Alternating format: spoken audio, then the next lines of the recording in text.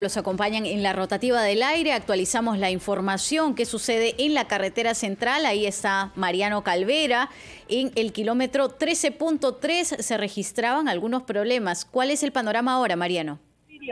Ministro, ministro Gaviria, para salir en vivo un minuto para RPP, por favor. ¿Cómo están, compañeros? Directo en directo, el ministro de Defensa ha llegado hasta el kilómetro 13.3 de la carretera central. Ministro Gaviria, estamos en vivo para RPP. ¿Se ha tomado el control ya de la carretera central? Cuéntame, por favor. estamos asumiendo el control. Esperemos que seamos el control. Ya, ya el tránsito está, está fluido. Esperamos que se normalice rápidamente. ¿Cuántos piquetes han habido en la carretera central? No, tenemos, tenemos dos piquetes que estamos abriendo de más complicado y esperamos que con esto ya resolvamos el problema, ¿ok?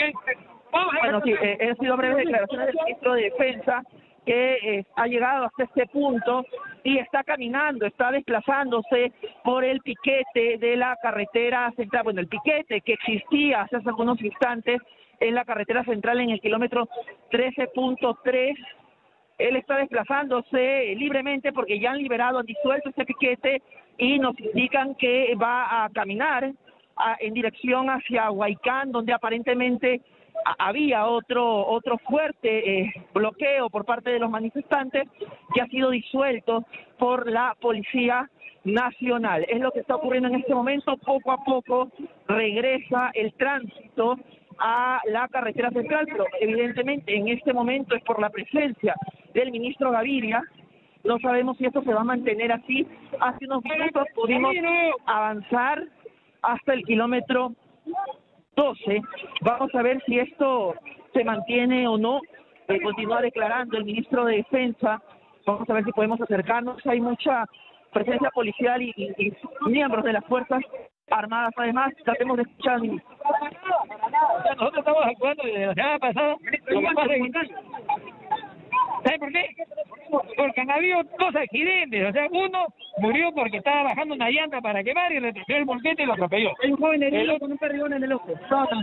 Ay, no, yo, yo estaba ahí. No, niega que haya habido... Señor, yo le digo, hay cuatro muertos. Uno que murió porque no pudo ser afilado, se iba al hospital. Un niño que cae al puente. Y dos accidentes de tránsito que atropellan la misma, los mismos vehículos que estaban en la no nada más. En tanto a este joven Bueno, ya estamos escuchando, continuamos escuchando al ministro de Defensa, le están haciendo las protestas acerca de los fallecidos en las protestas en Huancayo. En tanto, él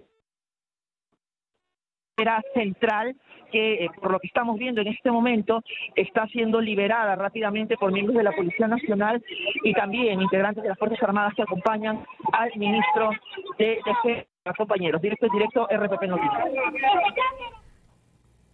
Muy bien, muchas gracias a Mariano Calvera por la información desde la carretera central, donde se encuentra el ministro de Defensa. Situación conflictiva que se vive en diferentes partes eh, del país, Joana. Sí, así es. Es el panorama complicado nuevamente en diversas regiones de nuestro país. Se encuentra el ministro de Defensa en el kilómetro 13.3 de la carretera central, pero hay que decir que hay que agilizar las conversaciones, las reuniones y mesas de diálogo que sean necesarias para poder llegar a un acuerdo o en todo caso a una pronta solución. Vamos